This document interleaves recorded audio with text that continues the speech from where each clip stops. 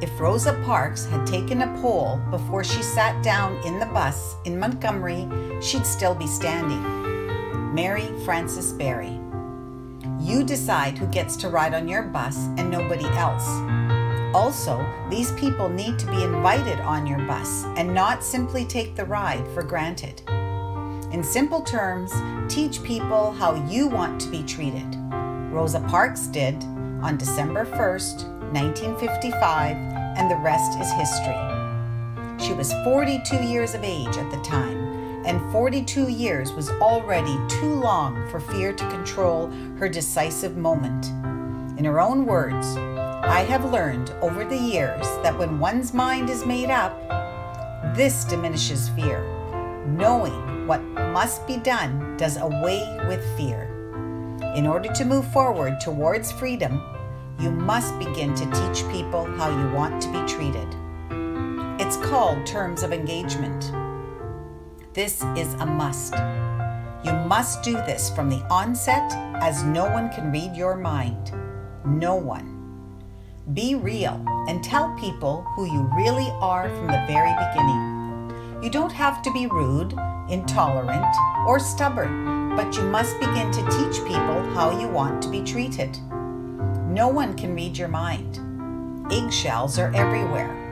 You might have to step on a few in order for people to understand where you're coming from when you interact with them. Embrace fear with courage. Courage is acting in the face of fear.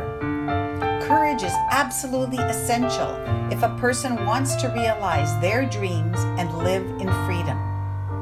There's a whole big wide world of magnificence out there and you can have it, but you must believe in yourself and persevere. Taylor Benson said, It is during our darkest moments that we must focus to see the light. Believe in yourself. Decide what type of light bulb that you are. Are you a 25 watt, 40 watt, 60 watt, 100 watt, or 150 watt?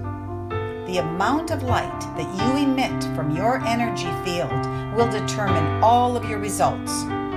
If you want better results now, go to the source. Thought energy travels just under 300,000 kilometers per second. Powerful? Think, feel, and act your way towards the 3% freeway of freedom. Some people have ambition, desire, and drive.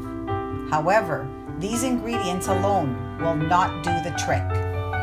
Change only occurs when you alter your belief system. Are you ready, willing, and able to eradicate old entrenched ideas in favor of a new idea that has the potential of creating a brand new life with all types of possibilities? Rosa Parks was ready. Rosa Parks' decisive moment was the beginning of change.